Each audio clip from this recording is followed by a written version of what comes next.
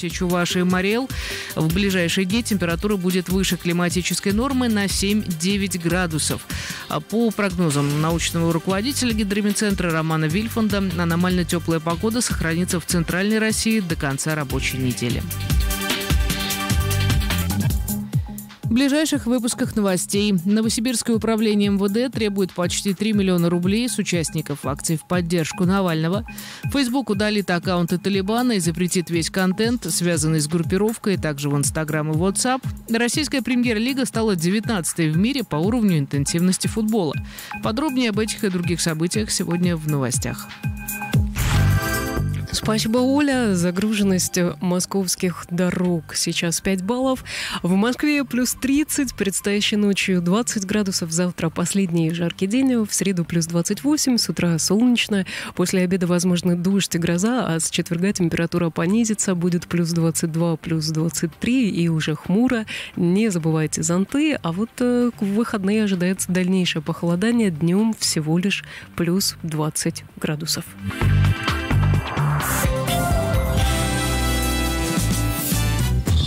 Вечерний РБК с Яном Мелкумовым.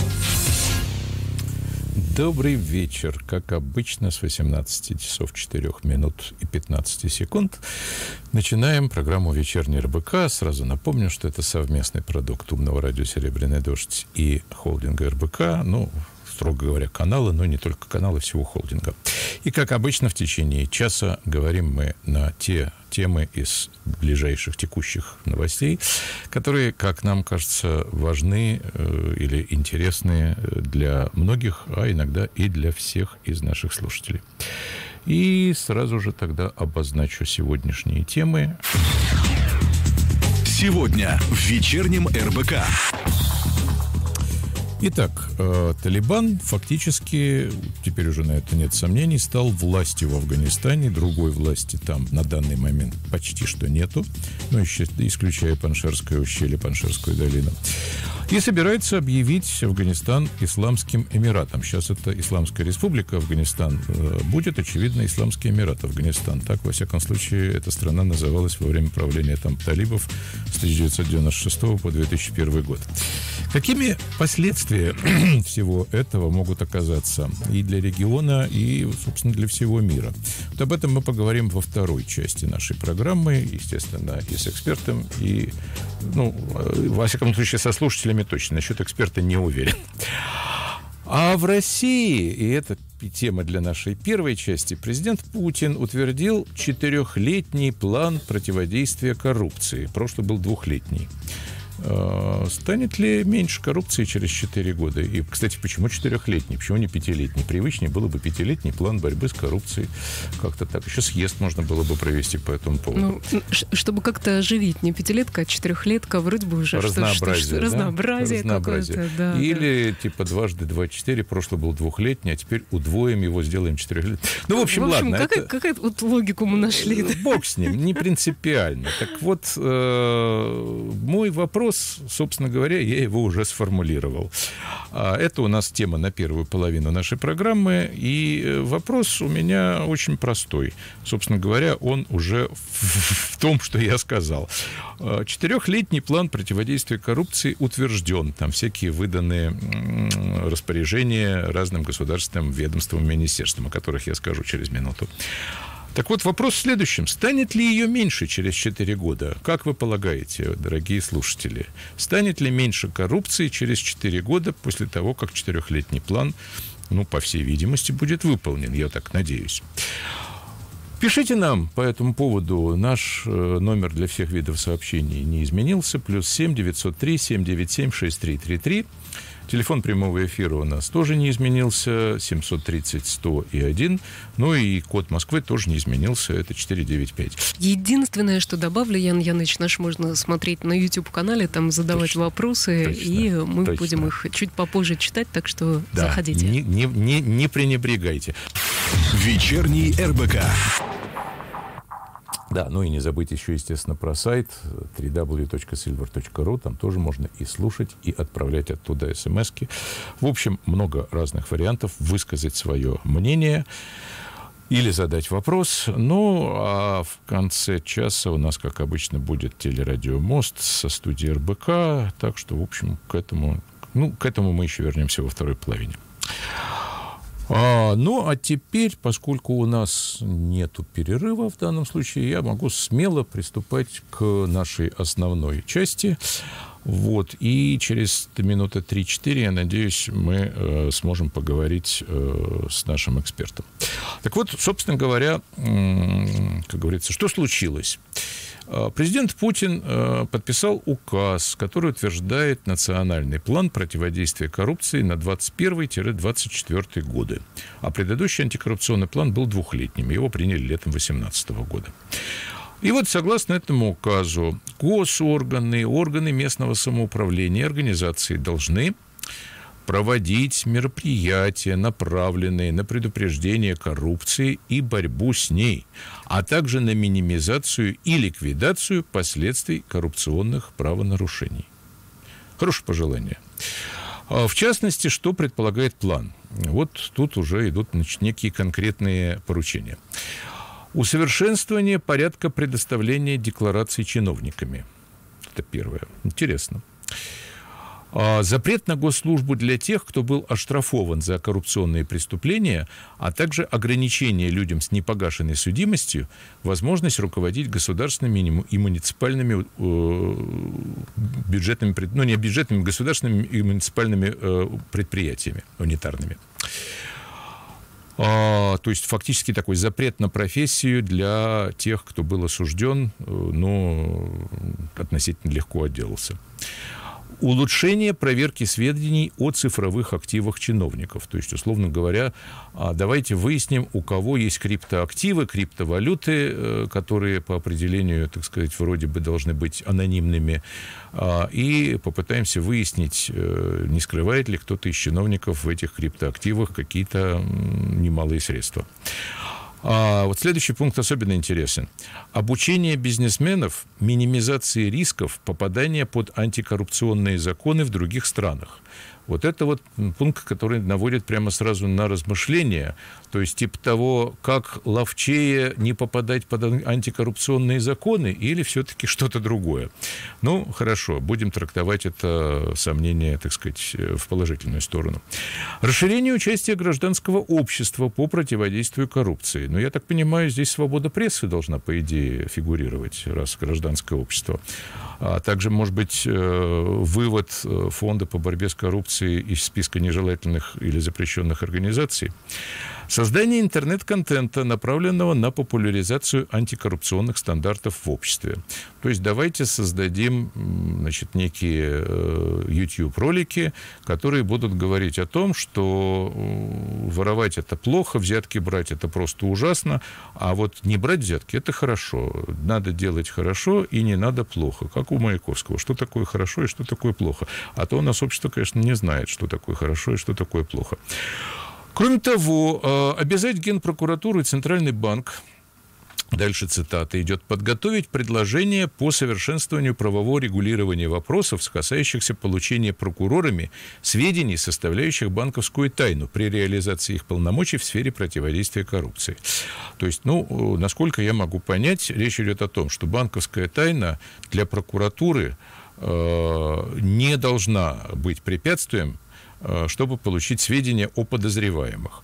Э, при этом, очевидно, предполагается, что сами прокуроры чисты как стеклышки, а те, э, так сказать, досадные исключения, которые периодически всплывают и которые попадают под суд и становятся, так сказать, достоянием гласности, ну, это такие мелкие исключения, о которых не стоит даже говорить.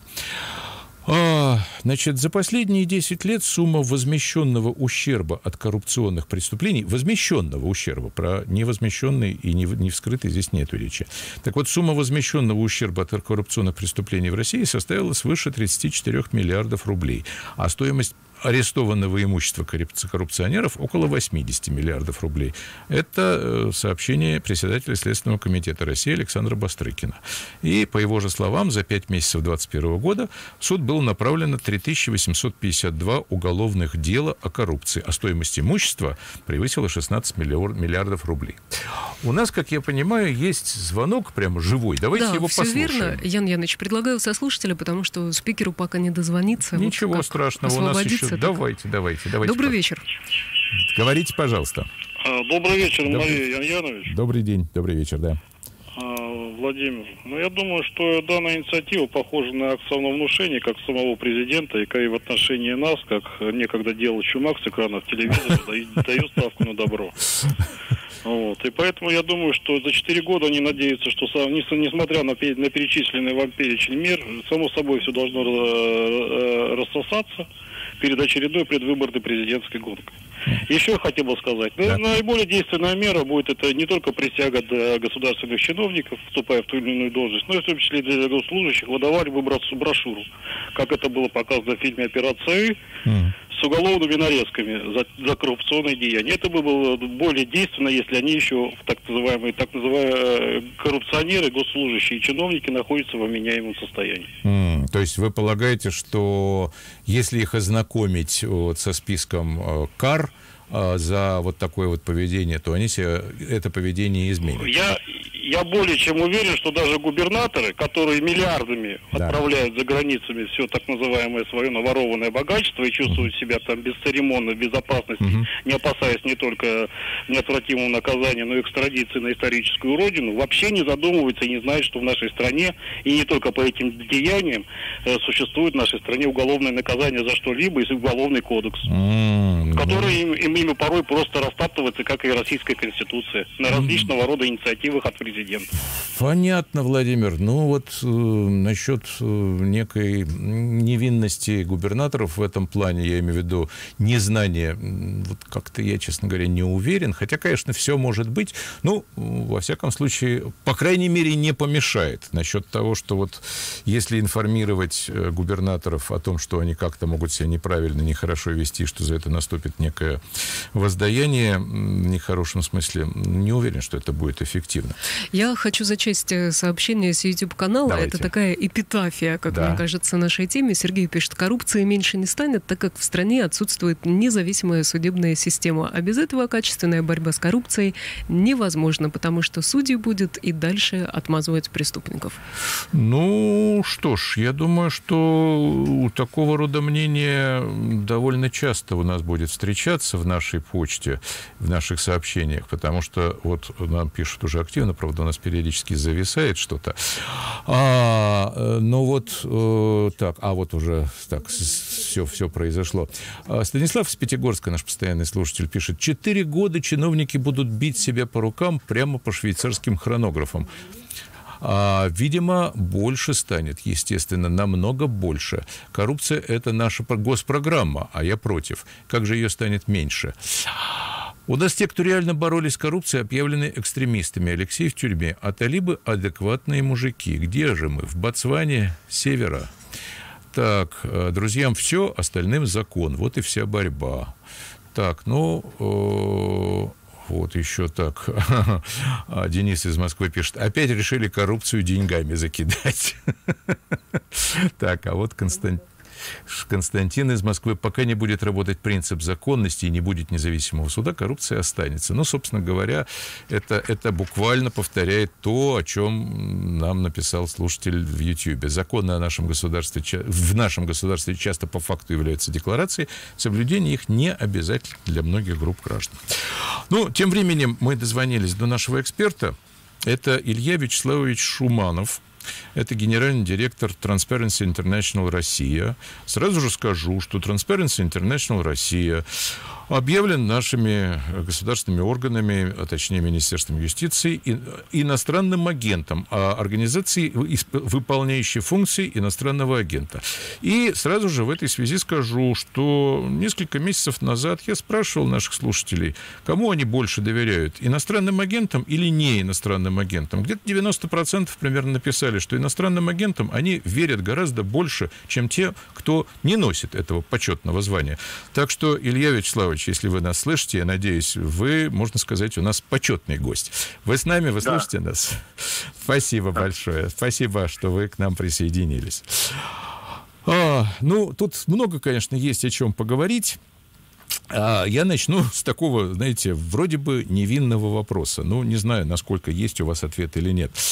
А, просто, ну, с другой стороны, вы за этим как-то следите просто хотя бы по своему роду деятельности. Так вот, предыдущий план был двухлетний, этот план четырехлетний, предыдущий план был двухлетний. Вот можно, естественно, поинтересоваться. Знаете, как в советские времена, там, подведение итогов предыдущей пятилетки и планы на будущее. Вот двухлетний план выполнен, можно говорить, отрапортовать, каковы успехи, каковы результаты, чем вообще меряется коррупция, и есть ли в, это, в, это, в этой области какие-то сдвиги. Как вы можете это прокомментировать?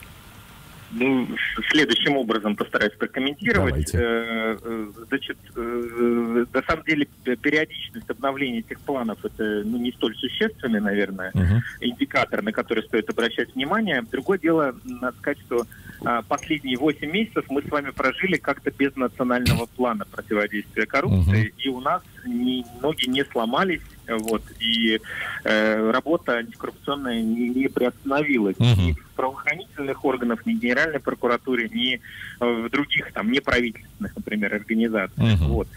Другое дело, что этот документ, он окормляет путь э, большого количества государственных органов от простого сельского поселения до, там, не знаю, директора Федеральной службы безопасности. Uh-huh. И, разумеется, он является таким маяком э, для э, многих органов власти и чиновников именно в части того, куда надо двигаться и какие элементы антикоррупционной политики развивать.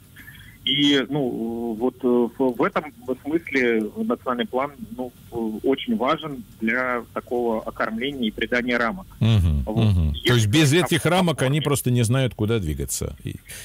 Ну, синхронизация деятельности большого количества у нас более 15 органов в нашей стране прямо занимаются вопросами, связанными с противодействием коррупции или отмыванием, uh-huh. борьбой с отмыванием денег. Поэтому э, какая-то синхронизация между ними должна быть, если не в нацплане, то как, каким-то образом другим. Да? Uh-huh. То есть, короче говоря, если я правильно понимаю, э, как некий бюрократический, э, не жест, а как некий бюрократический шаг для того, чтобы синхронизировать, для того, чтобы обозначить направление, такой документ в рамках бюрократической логики все все-таки был нужен. Я правильно вас понимаю? Или это все-таки чисто ритуальное такое предвыборное взмахивание рукой, а теперь вот у нас из мешка будет антикоррупционная политика достана, нет?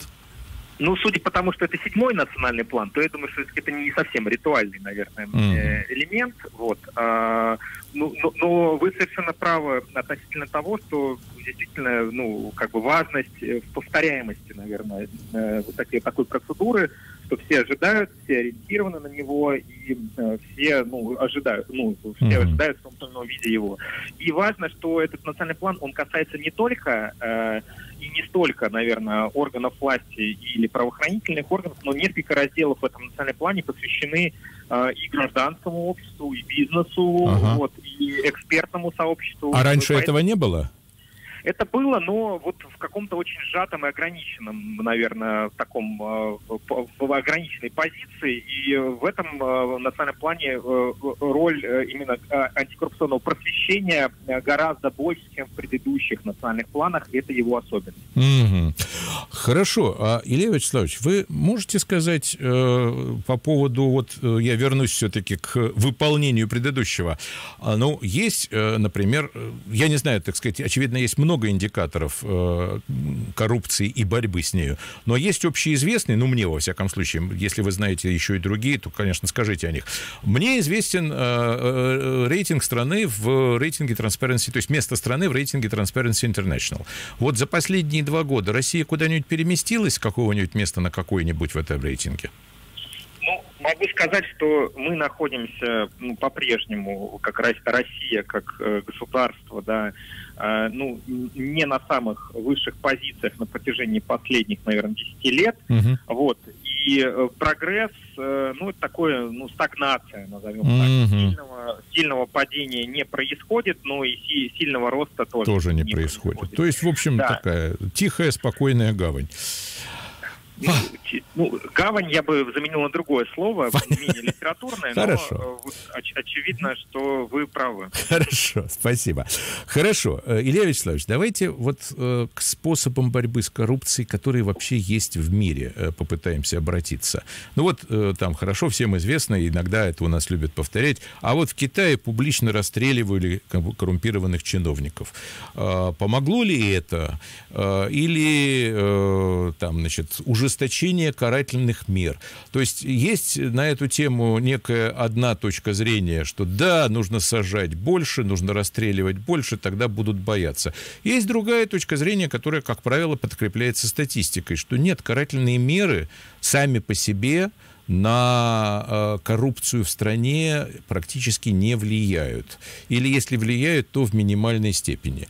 Вот э, какие, в принципе, способы борьбы с коррупцией в мире применялись, и можно ли сказать, что какие-то из них показали свою эффективность? Вы совершенно справедливо отметили, что существуют э, китайские или азиатские модели uh-huh. борьбы с коррупцией, где э, больше уделяют э, внимание санкциям э, и uh-huh. наказанию за, за, совершение преступлений и правонарушений.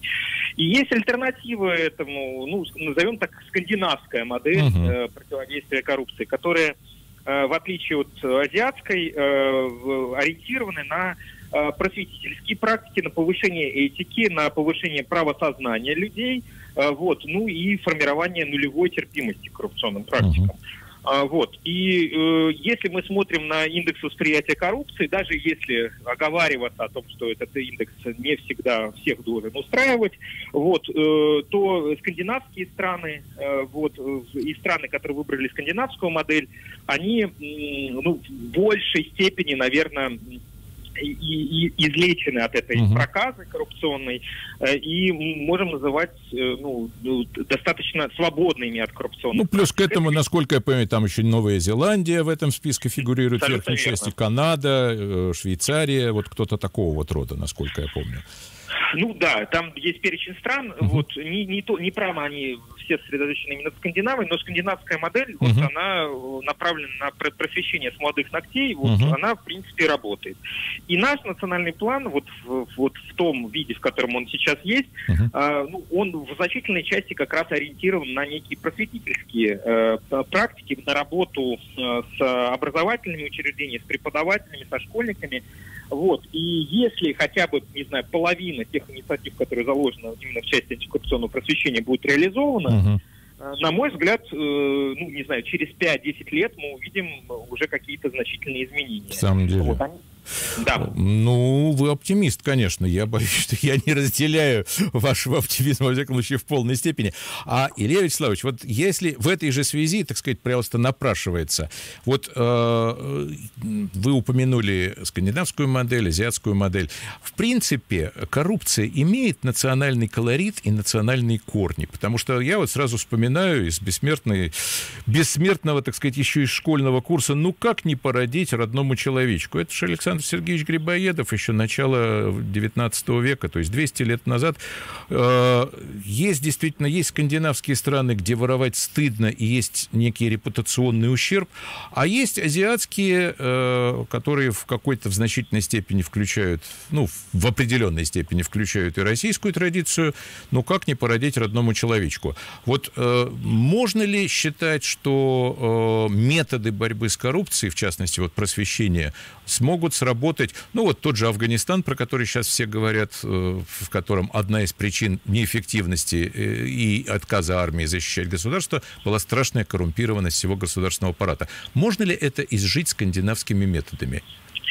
Да, э, то есть мне кажется, что здесь очень важно говорить о том, что, ну, я в первую очередь в своем, в своем тезисе говорил о молодежи, о новом поколении, вот, людей, которые, по сути, уже являются носителями других ценностей. Uh-huh. Вот, ценности, э, запрос на справедливость у них гораздо выше, и желание участвовать и в политике, и в общественной жизни ну, нельзя сравнивать со старшим поколением. Угу. Вот они более активны, более цифровизованы, и мне кажется, что потенциал у юного поколения гораздо выше, чем у нас. Вот. И, и второй момент, э, разумеется, когда вы упоминаете породить родному человечку, вы говорите о монетарных формах коррупции это как раз так, э, так, так называемые вопросы, связанные с э, конфликтом интересов, с клановостью, с родственными связями. Угу. И это действительно является неким важным атрибутом не только в системе государственного управления азиатских стран, но и в формате, наверное, устроения общества в, во многих э, центральноазиатских, например, странах или, в принципе, в Азии. Uh-huh. Вот. Ну, и полная противоположность европейской модели, технократичному такому управлению, э, вот, подразумевающему ответственность личную, такую даже протестантскую какую-то uh-huh. модель uh-huh. личной ответственности. И в этом смысле, конечно же, это два родительных полюса, э, вот, между которыми мечется Россия. Но мне очень хочется воспринимать Россию как европейской страной, потому что Всем хочется, конечно, я с вами в этом смысле вполне солидарен и думаю, что многим из наших слушателей тоже хочется. Но вот э, смотрите, э, по поводу, э, так сказать, государственного устройства и модели государства. Я вот когда стал смотреть на то, что происходило в этой области, с интересом обнаружил, я совершенно пропустил это. Значит, 19 февраля этого года Центр антикоррупционной политики партии «Яблоко» направил министру труда и соцзащиты Антону Котякову и спикеру Госдумы Вячеславу Володину Володину антикоррупционную инициативу. И в ней они предлагали, что в декларациях госслужащих должны указываться данные о доходах и имуществе совершеннолетних детей и бывших супругов. Потому что сейчас супругам только действующим, так сказать, в законном браке и несовершеннолетние дети попадают в эту декларацию. А на этих мер совершенно недостаточно, считают, значит, яблочники. И директор вот этого Центра антикоррупционной политики, ЦАП, а, говорит о том, что э, этот пробел создан специально, чтобы облегчить облегчать, облегчать чиновникам получение незаконных доходов.